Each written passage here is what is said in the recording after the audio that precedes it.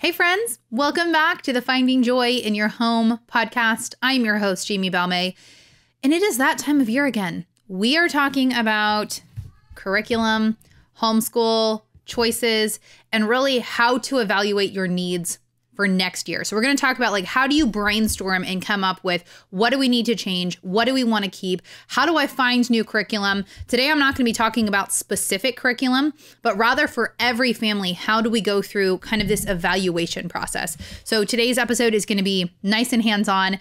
Every year, well, mostly every year, I think, I tend to do an episode where I kind of break down the curriculum that we used last year, what we're using for next year. So I will do that in the next couple of episodes. So that's what we're going to dive into. Uh, in a little while, we're going to hear from our two sponsors for today's episode. We have Mosh and AquaTru. So we'll we'll share about them.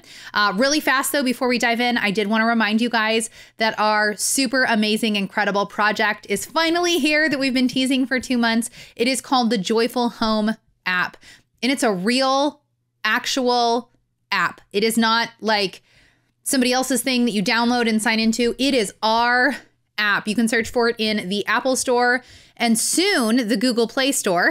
it's called Joyful Home. Uh, we're just having some troubles with Google. It should be up here any second. That's what we keep saying, and it just still keeps getting delayed. Google has got some issues, um, but it's coming. It's coming on Google, and you can fully access it on the web as well. You don't have to download it as an app. The website is gorgeous and amazing. Just go to Joyful Home app joyfulhomeapp.com. In fact, that's where you're going to sign up, joyfulhomeapp.com. You can go check it out. It has all of the courses we've ever done, all of our uh, online conferences we've ever done. Now, they're not all in there yet. Jason is working his tail off getting those uploaded, and pretty much every week you're going to see more and more stuff getting popped in there but it has audiobooks of ours, Jason's original books. I mean, this thing is jam packed, and the stuff that's in there right now is actually only a fraction of what's going to be in there.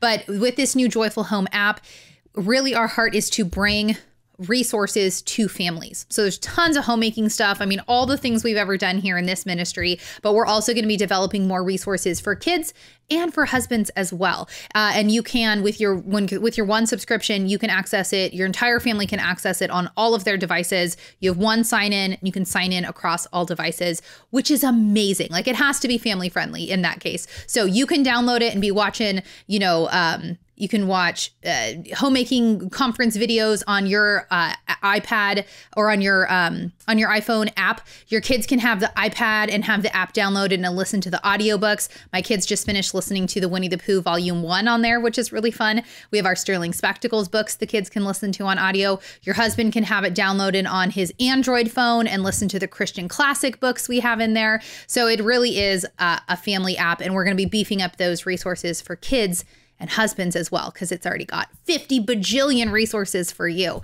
Um, so it is awesome. Go check it out through. I actually need to change this because when I first originally said this date, I was completely forgetting that this was Easter. So through April 2nd, through April 2nd, you can get 25% off on the lifetime of your subscription uh, by using the coupon code Joyful Home.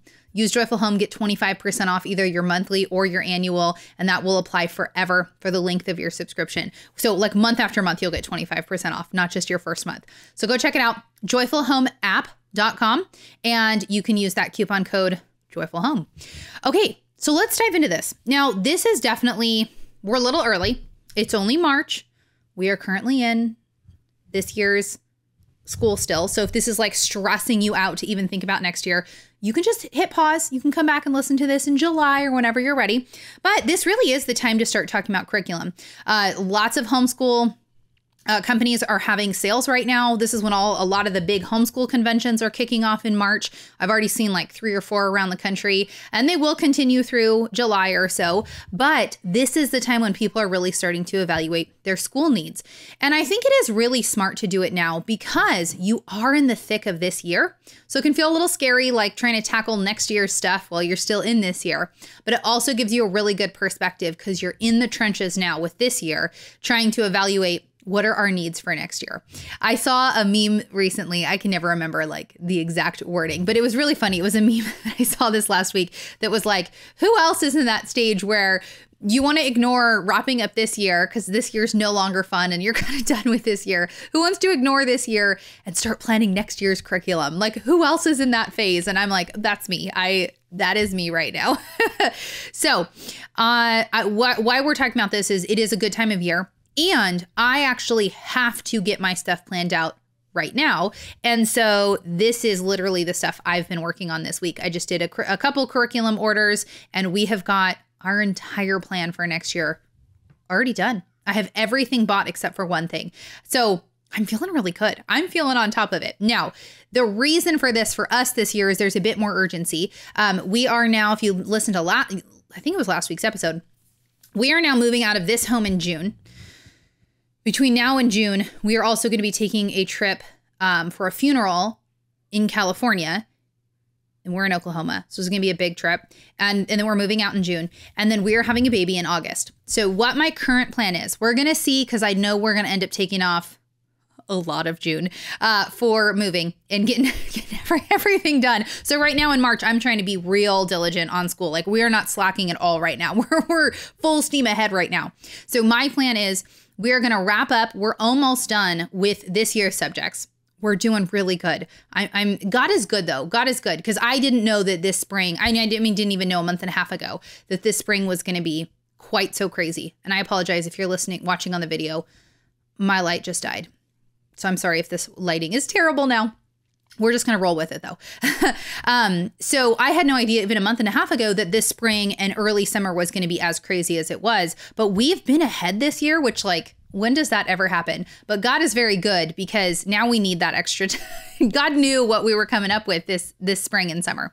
So we're ahead. We're going to be wrapping up this year's subjects very soon in the next couple of weeks. And my plan is we're just going to steamroll right into next year's subjects and then we're going to school throughout the summer until first or second week of August. We're going to have this baby, I think the third week of August.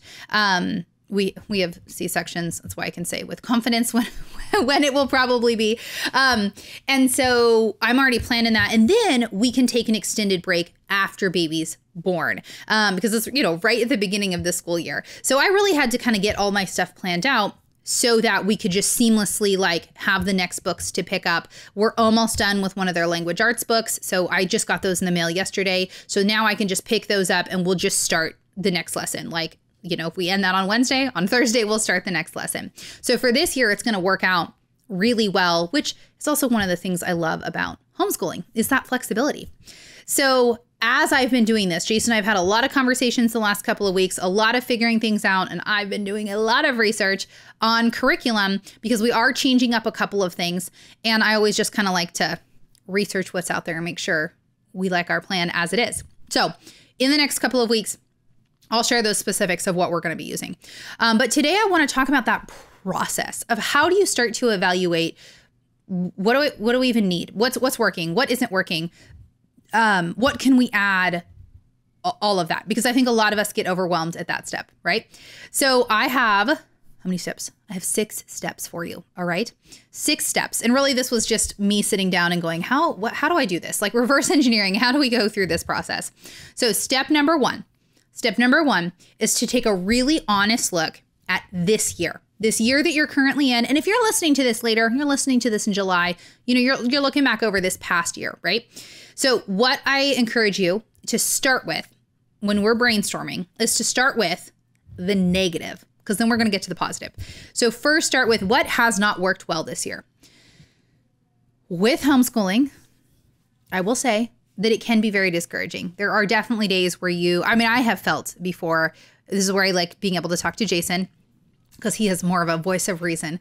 Um, I have felt before where you get to the point where you're like, everything's terrible. It's all bad. It's all, you know, it's uh, everything's falling apart. And Jason's like, what are you talking about? Like, these five subjects are fine. You're just struggling here. And I'm like, oh, okay, it's true. like, you can get to that point where you feel like nothing is good. And so this is not an exercise to feel down on yourself, to feel, you know, terrible. I mean, we've had years where it really was like, we got to change everything next year. We got to brainstorm and figure it out. So if you're in that place, that's okay. It's okay to recognize what we've been doing hasn't worked. Um, it, we don't like the curriculum. I, I lack self discipline. The kids lack self discipline. Um, or or seasons change and you realize what you were using is no longer working. That's okay own that, recognize that, uh, realize it's not a failure. It's just part of this process of learning and growing. Um, I do things way better now than I used to with homeschool. Guess what? It's called progress. And I'm sure in five years, I'm going to look back and go, oh, I've progressed in these areas. So just be real honest though. What has not worked well this year? So for us, our biggest sticking point as we're heading out, the, rounding out the end of this year, is that our the way that we're doing math this year has not worked for any of the five kids. And it kind of has been a developing problem. And I think there's a few different reasons for it. Um, we'll get into what, what we're switching to in the next episode.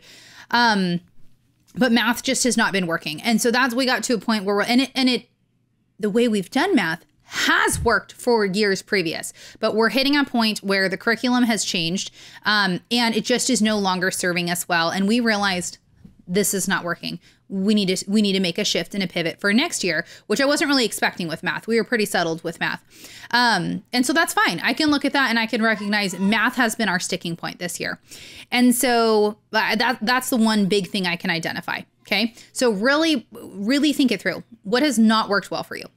Now on the flip side, we want to spend some time really thinking about what has worked well. So I actually do think our year has gone fairly smooth and now that I've gone through this whole evaluation process, I feel really proud of this year. I feel like we've done a lot of good things and we've had some good success with trying some new curriculum, which curriculum can be hit or miss. Well, actually, I will say we're not going to, we tried a new history curriculum for this year. And I wouldn't say it was like a failure, but we're not using it again. It's not our favorite, you know. And so that's definitely a shift that I was like, okay, we're figuring something new out for history. Um, but a couple weeks ago, I was a little bit more like, it's all terrible. It's all horrible. Everything's bad and math's taking too long. And Jason's like, okay, remember, we added, you know, our new history. While we didn't like the curriculum, our new history routine has worked really well. Um, our new language arts and writing program has worked so well. You know, he started pointing out the things that have been going well. Um, all of the kids are stronger readers than they were at the beginning of the year. You know, things that are really, really easy to forget. You know, between September and May, it's really easy to forget the progress that you have made, the good things that have happened. So I really want you to spend some time thinking through what are the positives from this year? What has worked well? What are some things that you're like, yeah, everybody's a stronger reader, or, um, or his handwriting has improved? Like, really think through those positive things. And that's going to help you figure out, too, what you need to bring into next year. And it'll also give you some encouragement, too, when you're kind of trying to tear apart your routines, which can be hard. So, step one look at what didn't work, look at what did work. Just be honest. You don't need to come up with solutions yet, but just say math didn't work. Okay. Now, in step two, I want you to start researching the areas that went wrong. Now, there's a few different, you know, moms can fall into a few different categories, a few different personalities as homeschool moms. There's no right or wrong, but be really honest with who you are. Don't try to fit a mold you see online. Don't try to fit the mold you see of your friend doing. Um, because if you try to step into someone else's personality as a homeschool mom, what I think it leads to is just complete and utter overwhelm. Uh, so for some, I'm gonna have a lot of friends who are like this. I would say this is probably the more normal, um, more common, is if you're you're like, okay, we need to switch math go talk to a few of your homeschool mom friends or post in a forum that you're in. If you're like in a good homeschool forum on facebook if you don't have any friends in real life that homeschool um, ask ask a few friends. Like say hey what do you guys use for math? What do you like? Or we used um, th- such and such math. We didn't like it. Who else has been in that boat? What do you like? What did you switch to? Um, you know get a couple of recommendations do a little poking around and then just pick one. Like pick one. You maybe you're the type that doesn't need all the all you know, if you put 45 different math curriculums in front of you, you're going to be so overwhelmed the you know, analysis paralysis, you're not going to pick one. So make it simple, know your personality and do some research. Whatever that research looks like for you to fi- figure out the new avenue you want to go to. And it never hurts to talk to other homeschool moms. You're going to get so much good advice. Um, and no matter kind of what your personality is, asking other moms and friends, what did you use? What do you like? Um, may not work for you, but you're going to also glean a lot of good stuff. Now, the second, if you're extra like Jami is, what I do is I like to research every single option that's out there. So I have looked at 45 different math programs.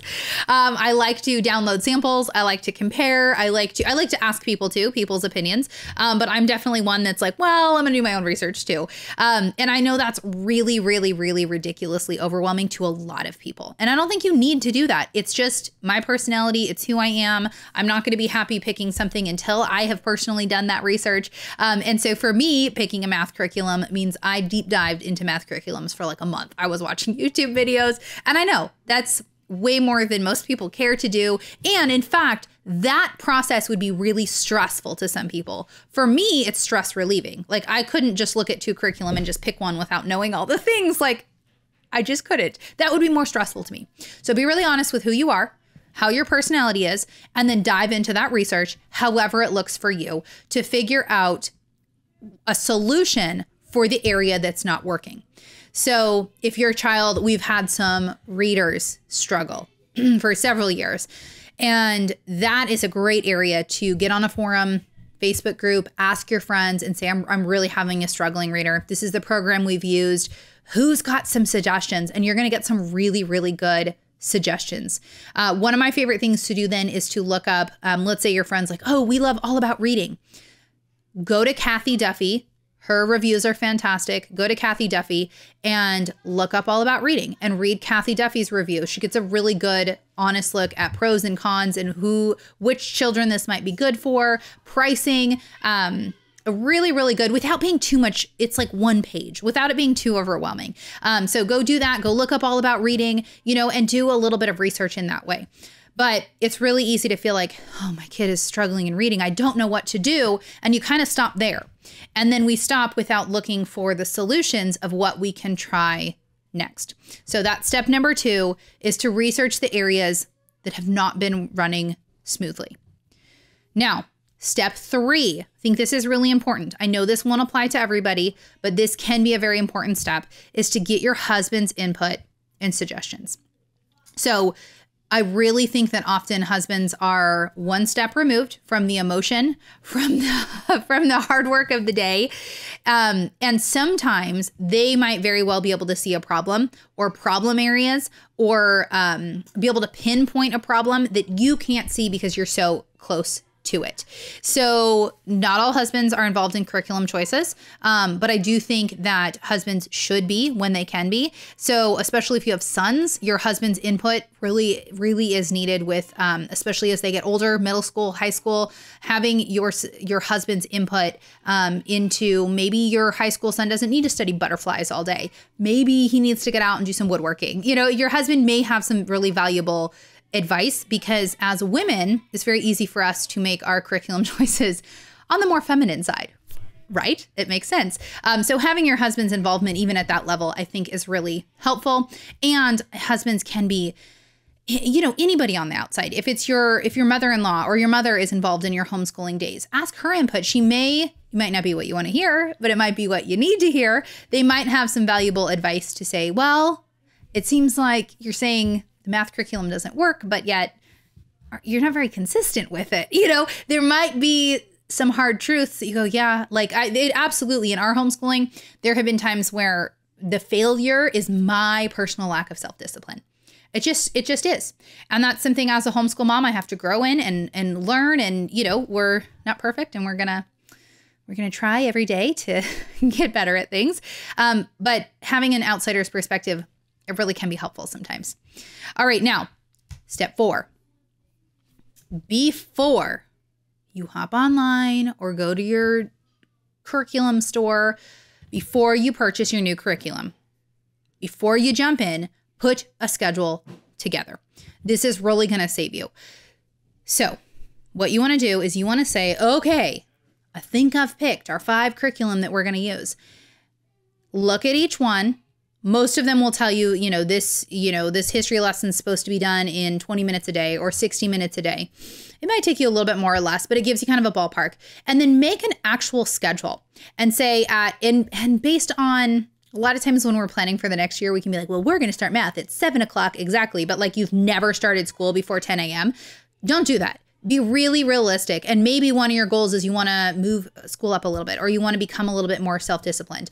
Do it in increments. Don't try to tackle it all at once or it's not going to work. Um, we're going to talk about that in a second. Uh, start slow, but you want to build a real, realistic schedule. So say, okay, this history says it's going to take an hour. That's eight to nine. Okay. Then we're going to leave 15 minutes because you need some transitions. Uh, 9:30 to 10:30, we're doing math. Really build it out and see if your curriculum choices are realistic or not. I get really excited. You guys can probably tell from my personality. I get really excited. I want to do all the things all the time. It's not realistic. It's not happening. And so I have to make sure that I'm very realistic with the time.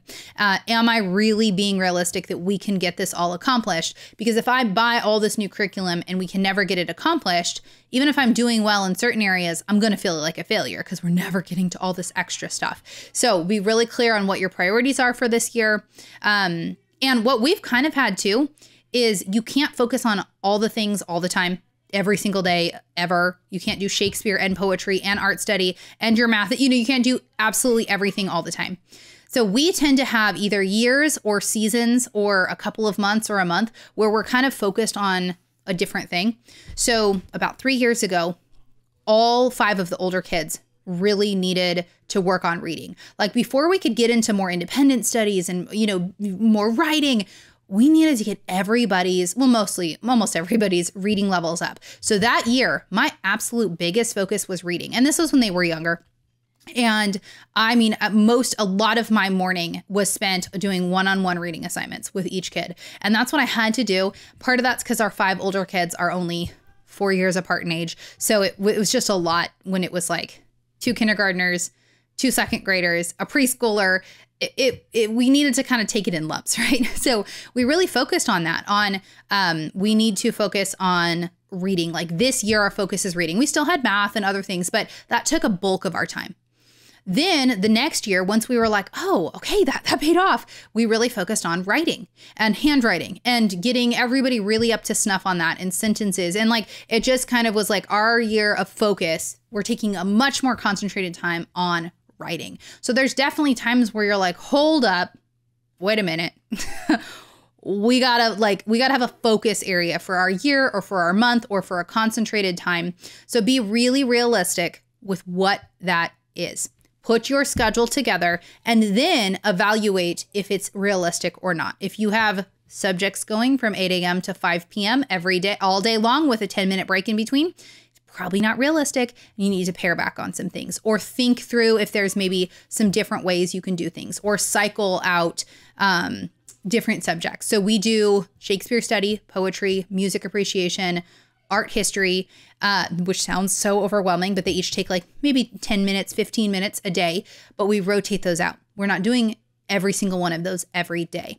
So putting that realistic schedule together, evaluating it from there, and then ordering your curriculum. And a lot of times we go straight to like, we get all excited and order all this curriculum, and it is not a realistic plan, right? Okay, step five. It is absolutely 100% okay and even wise. Some of us need to hear this to slowly ease into new subjects. This is the approach that I have now taken in the last few years, and it has been just absolutely life changing to our school. So on September 1st or whatever day you start school for the year, it's really easy to think that, like, start, you know, most of us, most of you listening, not everybody, Jason was homeschooled, kindergarten through 12th grade. Um, some of you are much more familiar with homeschool, but a lot of us who were just raised in public school, you have all summer off, you do nothing, and then bam, you go back to school, first day of school, you have all your subjects, you're, you're back into everything. But with homeschooling, especially when you're introducing new topics, new curriculum, you as the teacher have to figure all this out. Um, my uh, texts are on on my laptop. Um, when when you're doing that, it is really hard sometimes to be like, actually, we're changing everything this year and we're starting everything new on the first day. And then you're sitting there on the first day of school scratching your head because you're looking at the teacher's manual and you're like, wait a minute. I'm not fully prepared for this. Or, you know, um, it can just be hard to ease into all these new subjects or to jump into all the new subject at once. So I really want to encourage you we have the flexibility as homeschoolers ease into some of these new things. So for us, for this year, we did this and I was really happy with how it turned out. So we wanted to, we used this year kind of as a year of like really wanting to beef up some of our subjects. We went through a year of focusing on reading, focusing on writing. Everybody's doing really good on that. And now it's like, oh, we can jump into beefier stuff. Like stuff's getting more serious. We'd had, um, two fifth graders, two third graders, second grader, and then the two littles. Um, and so everybody's just getting into more bigger stuff, like they can handle more. So I really want, I was like, I want to beef stuff up this year. But we didn't jump in with everything and all the new changes at once. And I'm really glad we did. And I think that was part of our success this year. So we did start a new history program that was much more robust than we've ever done. And so we started with that at the uh, sometime in September. Maybe we started earlier. I don't remember, but we started it. We, we eased into it. Um, we jumped fully into that, and it gave us a couple of months to like really get that down into a routine. And we had that solid routine. We had our other subjects going as well, but that was the first new big thing to change. The next thing we wanted to change was to introduce for the four older boys um, a much more rigorous, like creative writing um, writing program of like really getting them ready for middle school, like bigger writing, right? Which as a teacher takes a lot of time from me. And so we did all the comparisons and everything and we fig- we landed on a writing program that you use in conjunction with their language arts program. And so it was kind of a big deal to jump into both of this and I was feeling a little bit nervous of finding the time to do it. And so we waited until the history was fully in the routine and then we started the language arts and writing. So by that point, it only felt like I was adding in one new thing. Everything else was kind of more or less on autopilot. And we are able to add that one thing in, or two things, I guess. And so that was really, really helpful to do. So you look at too if you've got some goals of oh we'd like to start add some art art history or art appreciation or anything you kind of want to add in, you don't have to do it day 1. Look at and we've done that where we add we had goals. We were like by this month we want to add in the language arts, by this month it's the history, and we kind of just had goals throughout the year, goalposts of when we wanted to add it in. So I really encourage you to do that, especially adding in maybe extra or beefier things. All right, now step six, last thing is do not get overloaded. Okay. Some of us are over here where we're going to get real overloaded, real overwhelmed with the fact that there are 50 bajillion homeschool curriculums out there now you can use, right?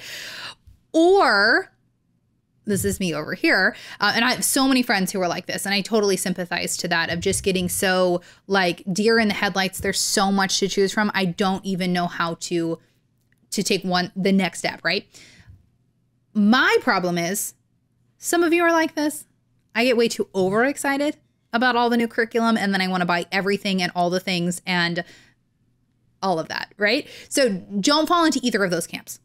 Don't do it. Don't do it. Um, picking one program means you're not using another program. So whether you're in the overwhelm because you don't want to make a mistake, you don't want to choose the wrong thing, um, you don't have time to research all the different options and it feels too hard and overwhelming, or you get excited and like there's like three different writing programs that look amazing to me. Like I, want to do all three. Well, duh, you, you're not. So you're going to be picking one, and that's okay. Don't stress over what other people are using. Um, use what works well for you. Um, download. I mean, I've used curriculum before that people are just like, it's amazing. And I try it and we don't like it. There's other curriculum I use that no one's ever heard of before. That's completely fine. Use what works well for you, make those decisions. We take it year by year. So you jump into this great new curriculum, looks so awesome you guys don't end up liking it, that's okay. It is okay to do that. Um, but we can get so scared of failure, of picking the wrong thing, um, and it can get overwhelming. There's so many options. So try not to get overloaded, try not to get overexcited, find somewhere kind of in the middle, um, make your choice, and be okay with it. Be okay with it, right? So, my last word of help to you that goes totally along those lines is don't be afraid of ditching curriculum that just is not working for you. We have done this. There are times where that is the right and necessary thing to do. So, midway through this year, the math curriculum we were using for Magnolia, who's in second grade, was working fine at the beginning of the year. I'll tell you guys in the next episode. There's a whole long saga of it, but for all the reasons, it we just we got to the point where it was not working. It was tears. It was i hate math. Uh, and she's really good at math. Like it's not you know she she was fine. It just the curriculum was not working. And i was not really fully realizing it was the curriculum until i started really looking up reviews and going oh should we switch? and realizing oh a lot oh that's the problem we're having. Like it was kind of a light bulb to go Yep, that's the problem we're having. I see it. So I actually midway through the year, it's hard to do with math. I pulled what she was doing. I bought a brand new book. I started her over on that level of level two, um, which was really easy for her at the beginning, which is what I wanted. I wanted her to feel confident and happy. And like about a week ago, she keeps asking me, "Mom, can we do math?" And a week ago, she was like, "Mom, I love math." I mean, this is a 180 from two months ago. And so it was absolutely the right decision, even though it was hard to do it was hard to do. It was the right decision for her. Now, on the flip side, homeschool moms, we struggle with this. Don't expect that the next curriculum is automatically going to solve all your problems. Um, it is so much easier to switch to a new curriculum and go, oh, this looks fun and exciting. You know, we get all motivated and excited when we're ordering new curriculum. So much easier to do that than it is to address discipline discipline problems in yourself or in your kids. And so sometimes it's not the curriculum. Sometimes it's that our children don't want to do math and that there are tears and you know, uh, sometimes it's just it's it's yo we we don't like this history program we can't get through it. No it's because you need to just get through it right? There's do, there's totally those times too. And it's really really easy as a homeschool mom to get fomo fear of missing out of all the other beautiful curriculum that are out there. And i follow a lot of homeschooling accounts on instagram and it's so easy to be like whoa and pe- new people are coming out with new curriculum all the time. It's so easy to be like, that is amazing. Um, I want to try it. And so the the fear for many of us is we're trying to switch curriculum too much all the time because we're like this new cool thing when really we just need to be disciplined, get through the books we have, stick with it, School is not always fun and bright and shiny and incredible and new discoveries every day. Sometimes we kind of just got to work through the book, have that self discipline, um, and so we want to we want to hold it in balance. Though there are times to ditch it. There are times when it doesn't work for our family. The curriculum's just terrible, or it doesn't work for you. And then there's other times where you're like, we just need to stick through. Like this history program, we're not loving it this year, um, but we're sticking through. We're going to finish out this year, but we're not going to continue on. We're I already have the new history we're going to do, and I'm I'm ho- I'm optimistic about it. I'm excited for it. Um, and so yeah, there's times for both of those. All right, so that is my very long spiel.